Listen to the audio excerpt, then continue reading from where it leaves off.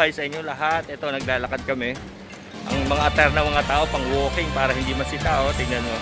Ganyan sila. Talagang walking-walking. Oh.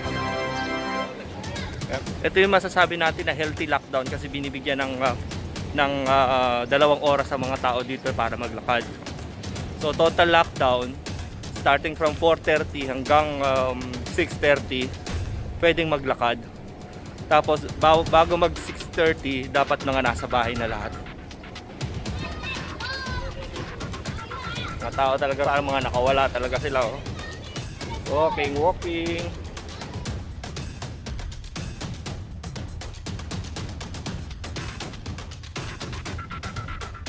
Maganda rin yung ginawa nila dito sa Kuwait kasi nga binibigyan nila ng pagkakataon para makapag-exercise yung mga tao.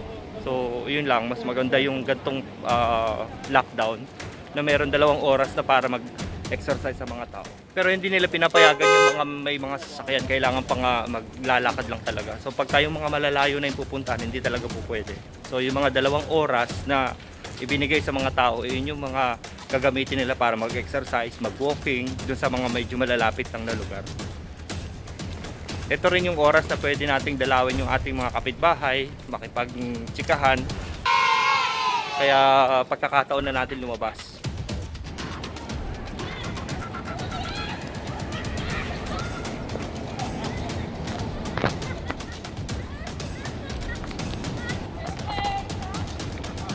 Mga kabayan! oh, ganon.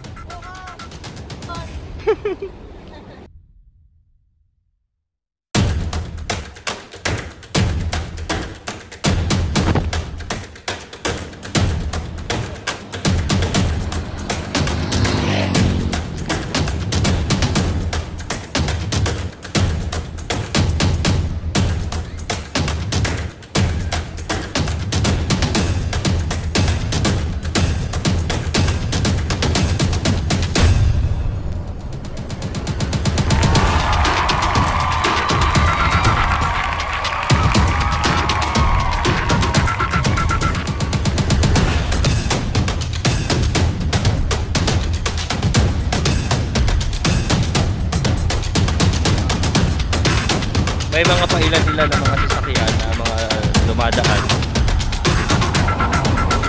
Siguro meron silang mga permit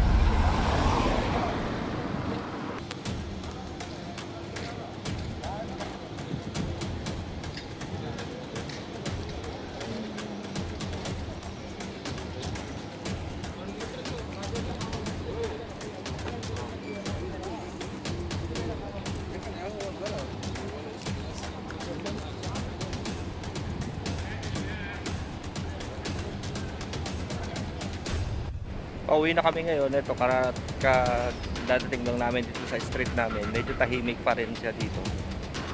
Mga ilang minuto na lang magiging ano na, uh, babalik na ulit yung normal na naka-lockdown hanggang 6.30. So siguro mga 20 minutos na lang at magiging uh, matahimik na naman dito kung wawala na naman yung pangalawang araw ng lockdown na 20 days so lumalabas kami ngayon ulit 4.30 ngayon papunta ulit kami dun sa isang kaibigan namin eh lang. Unti-unti nang mga lumalabas yung mga tao ngayon.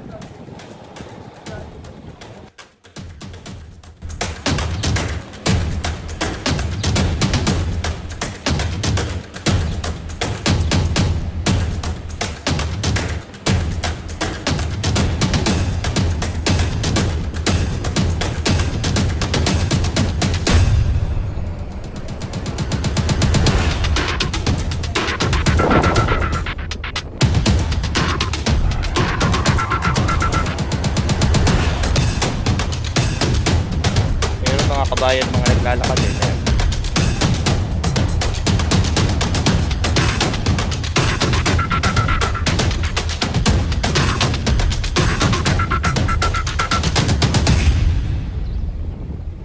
Samantalahin ang mga 4.30 hanggang 6.30, ito oh, naglalakad.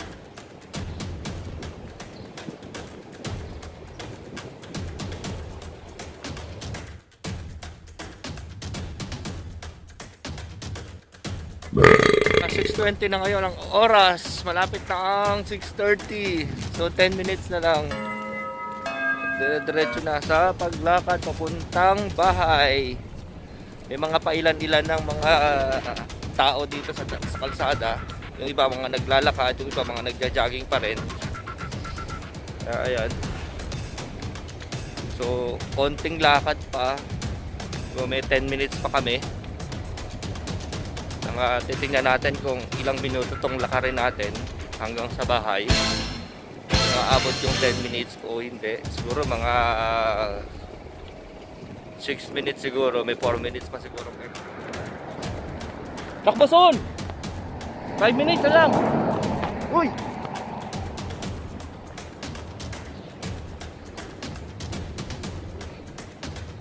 Sabi. Oh, malayo, medyo malayo pa. Ah.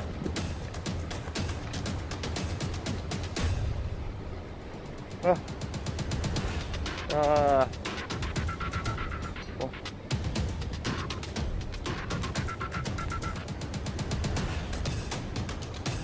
Yung iba parang hindi natatakot oh. Mga ilang minuto na lang, mga nasa kalsada pa.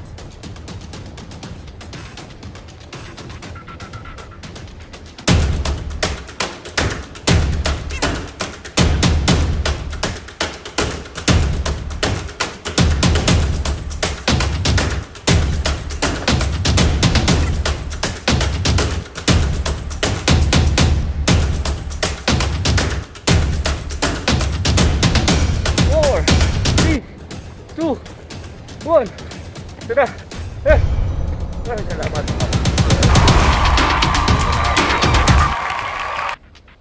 Sa building na ako. Salamat sa pahabol. Grabe. Pagod. Ay, ko.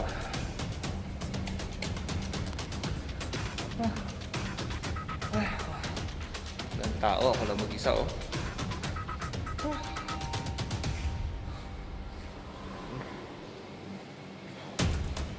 Salam, salam, salam, assalamualaikum. Salam.